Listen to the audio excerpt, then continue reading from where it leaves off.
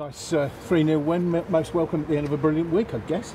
Yeah, it made, excuse me, made the two long trips, you know, really worthwhile. We've got another one to come on Tuesday, but I said to them after the game at uh, Scarborough, it was a great point if we go in, back it up with a win at home on Saturday, and thankfully we've done that.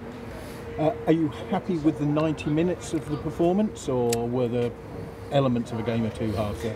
I'm never happy with all 90 minutes, but at the end of the day, I, I just felt you know, we've had a we've had a tough week and we've got another one coming up, and, and it's the end of the first one.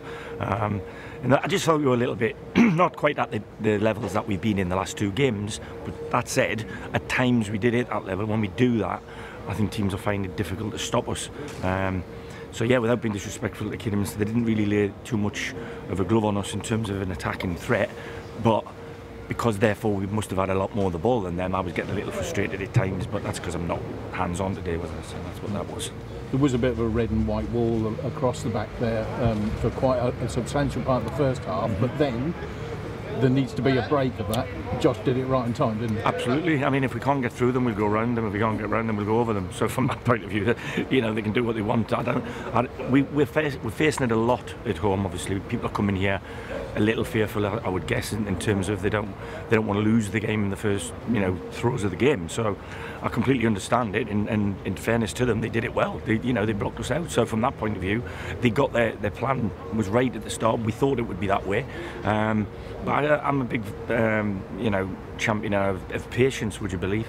And um, I was I was just urging us to be patient, make the extra pass, but don't give up the opportunity to to go forward when, when we could. And I think what was happening was because they were so deep at times, the opposition, we were walking on and being marked rather than coming into an area where we usually come and, and pass rather than when I say pass I mean go past.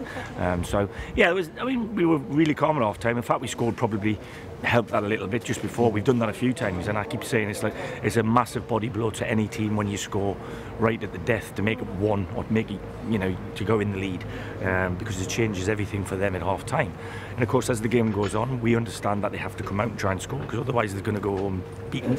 And they did have a go they did have a go um, but that obviously makes them a little bit weaker in defence if they've come out to attack. So yeah really really pleased. It's a it's a, it's a really good win against against a big club Theo nice little bit of work there but mm. that he had a sort of the, yeah. the, the, change of fortune very, very quickly. Yeah, I mean, uh, yeah, we don't know yet. Obviously, we've got to let, it, let him settle down. But he doesn't think he's actually torn it or pulled it. He just felt a tightening in there. But the way he went down didn't look good. Um, we just have to assess him. We'll miss him if, if he's out because he's. I know he's my lad, and it's nothing at all to do with that. He's been very, very consistent this season. I think he's got six or seven goals as well. So from that point of view, as well as being a, a, a catalyst for the way we actually play the game, in terms of he's the the, the holding guy, and the dictator of the ball, if you like. Um, he's had a good he had a good spell, and I don't tell him that publicly very often. So he, hopefully he'll uh, he'll be like me and he'll heal quick.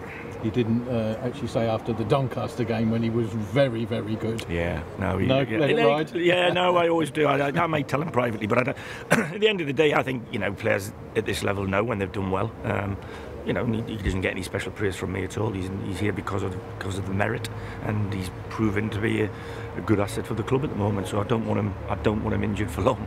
Yeah. And then Gold pulls uh, an absolute corker out yeah. uh, for the third, and then he's game over. Yeah, that was a great finish. I mean, that, that's what I was. I was probably getting a little bit impatient in the first half because I didn't see the energy to press like we normally do, mm. and I know why that happens. But Goldie almost did it on his own there. He won the ball, ran ran away from them, and then it was a great finish. Mm. So I was pleased for him because strikers always judge themselves every week on goals. I don't. I look at the whole contribution to the to the game. Like Ben Stevens has gone on there, and I know he's chuntering in there because he hasn't scored, but I thought he was excellent when he come on. You know, Josh is Josh is Josh. He's he's outstandingly talented, and he can bring certain things to the football pitch that nobody else at this club can do. And some days it works, and some days it doesn't work. So we've got a really good blend. We've got Zane Walker coming on there, who's chomping at the bit to get more game time, but the other lads who've, who've been in ahead of him for one reason or another are just doing too well. So it's a good it's a good problem to have from my point of view, but it's it's not an easy thing to have to manage sometimes. And three goals in three games, one each in each game for goal. It's a bit special, isn't it? Well, it's brilliant. I mean, Pontchardt Pontchardt went on a run of about four and four, I think. So mm. let's hope that continues. As long as somebody's scoring, I don't care. But I mean, I just mentioned Theo. I think's got six or seven. I think Skip's got four or five. Josh Coulson must have that now as well. So we're, we're chipping in from everywhere, and, and that's important, you know, because you can't rely too heavily on one man. I'm sure throughout your career you've seen clubs who've had a good result in the cup, mm-hmm. and it's affected them. It probably does with non-league teams more, but you, you must be pleased that it doesn't look to have had any it won't. Difference. It won't because we won't let it happen. We we treat we treat winning, losing, and drawing exactly the same. We literally do put it behind us as quickly as we can, and we just look at the next game. That's honestly what we do. And I know it's a cliche; it doesn't make for really good headlines or anything, but it's this is gone. We'll be talking about Southport on the way home in the car, um, and we'll be back in Monday morning to, to prepare for the another monster trip. For those of us who sat in the press box, it didn't go without notice that you were about two yards to our right, mm-hmm. carrying the world's loudest whistle. um, no, that's my fingers. You are, uh, yeah. it is. It is. Well, I noticed. Um, is that just the, the, uh, the, one game suspension? Yeah, I mean, I, I, have no idea why. I'm being honest with you. I just was told that we've accrued four yellow cards on the bench. I can't remember them, but that's apparently what's happened. And uh, because my name's above the door, it's me that has to sit out. Mm. Um, I do know at least on two of the occasions it wasn't me even got yellow carded. So from that point of view, it's a little bit harsh, I feel. Mm, but you've got to do what they tell you.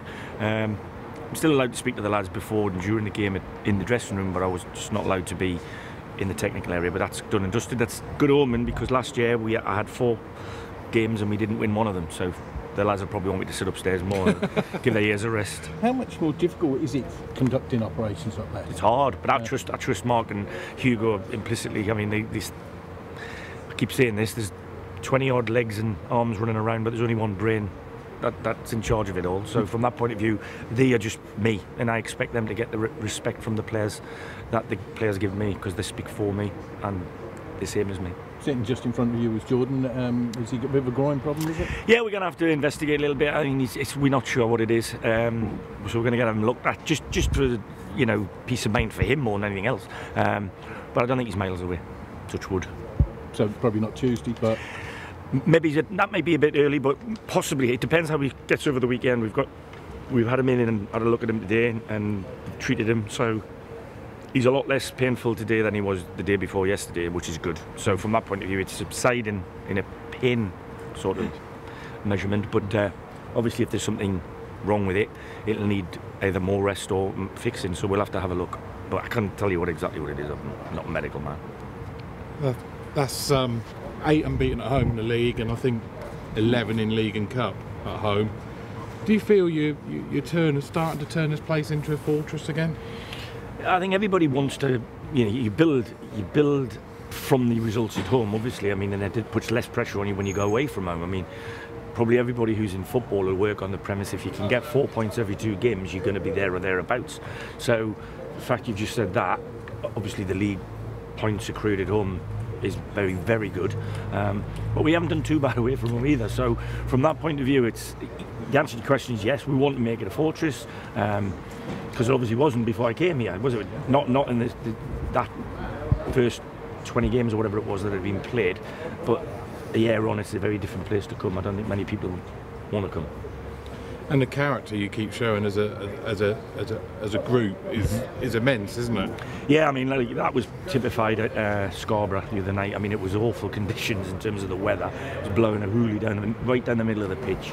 Um, and we were under the cosh. You know, they, they played they played the conditions better than we did in the first 20 minutes, and we found ourselves 2 0 down. And after the Lord Mayor's show springs to mind, doesn't it? Because that happens as well. You talk about before a big game, they might have a little dip because they've got an eye on a game, but sometimes after you've had a really good performance and you've read about yourselves and how good you are for three days, and then you go and go 2 0 down, we could easily have folded.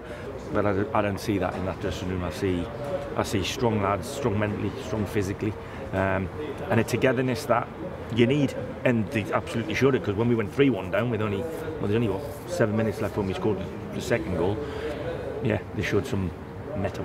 No moving goalposts either today. yeah, well, I, uh, I mean, yeah, I'm not going to even comment on that. That, that. that just shouldn't happen, should it? Whether whether the ball was over the line or not, the the goal wasn't in where it's the goal wasn't where it was supposed to be. So I don't know how that doesn't get stopped.